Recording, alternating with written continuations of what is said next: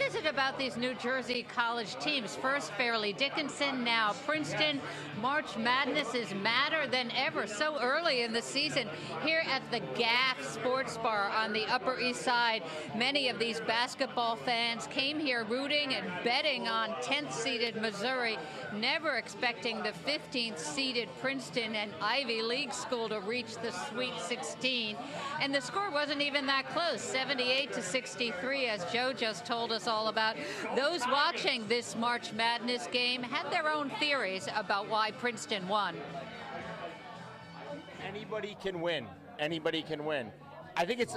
I think a big thing is like the uh, the transfer portal. Any player can go anywhere now. Doesn't stop them from going anywhere. So they're just doing it. So you get some good players in different colleges. Princeton though, I don't know. It's different. It's different. They got a chance. They got a chance. They got a chance at what?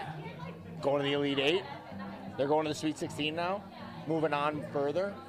Making a lot of people mad. I will tell you that. People are losing money on them. FanDuel is the worst thing that ever happened to me. So you were betting on who? Missouri. And you I picked- lost big time. I picked the wrong Tigers, basically. I watched the game, and to be honest, I didn't think Princeton had a chance. But you know, the Tigers, uh, they came out and they played a great game, and they were amazing. Uh, I think it's probably one of the biggest upsets of the tournament so far.